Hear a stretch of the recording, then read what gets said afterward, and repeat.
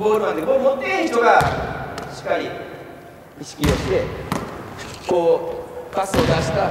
でそうこの後も拓部が同様打ってこっちにスリー打つよって呼んでくれたりとかポンって絶対だけで春がこっちに意識がいく。